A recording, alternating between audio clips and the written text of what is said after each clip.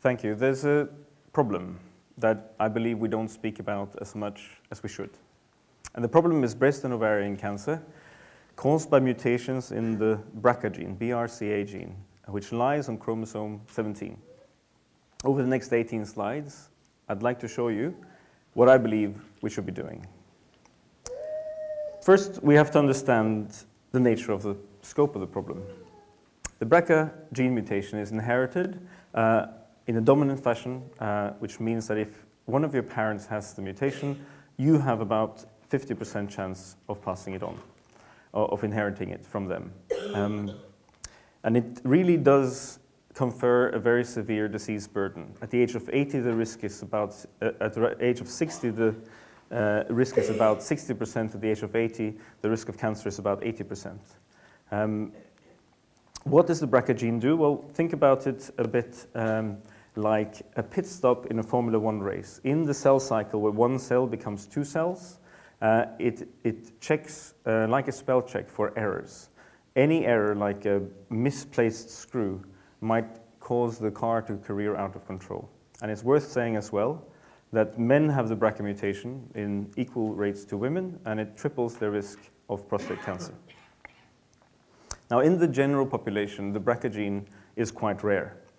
Um, in 1,000 people, um, there will be about two individuals with a faulty gene. And that perhaps goes some way to explain why it is that we don't have BRCA testing offered as standard. It would simply be too costly. However, in the Jewish um, population, um, the rate of mutations is um, 10 times higher, affecting about 1 in 40.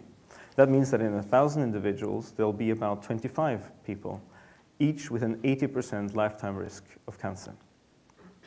Why is this? Well, interestingly, it is a consequence of Jewish history um, because um, Jewish communities to some extent chose and some extent were forced uh, to live separately.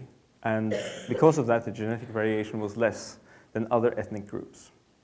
This is true for Ashkenazi Jewish people, but in many cases it is also true for Sephardi and Mizrahi communities. For a long time we thought that this was an Ashkenazi problem. Uh, in fact, there are genetic mutation lines found now in North Africa, Iraq, Iran, and Jewish communities in Afghanistan. And the reason for this is that the general population has a great deal of genetic variability, um, whereas in close-knit, non-integrated Jewish communities, certainly throughout history, um, there's a, a higher chance that a faulty founder mutation will stay in the gene pool over time. What can we do about this picture?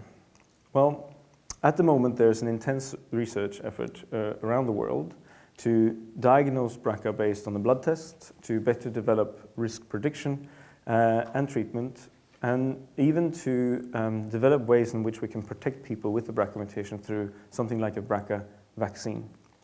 Of course, being diagnosed with the mutation is, is very different from being diagnosed with cancer.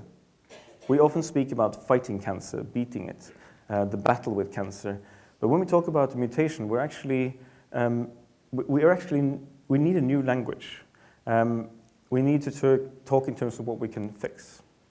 Um, it's also important to remember how this impacts on a person's life. Uh, it can be very profound, the way they have to make decisions about risk-reducing surgery, uh, which alters their ability to have children and their hormonal profile. Around each person uh, stands a family as well. And if you get tested, uh, their risk actually changes. If you test positive, their risk changes from 1 in 40 to 1 in 2. So many people uh, say they don't want to get tested because they're worried how it will impact their daughters, their mothers, their sisters.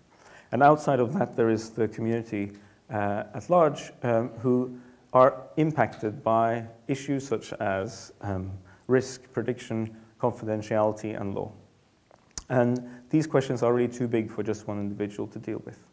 And the problem is that at the moment, um, uh, people who um, currently are disease-free but have received a genetic diagnosis basically fall between two stools.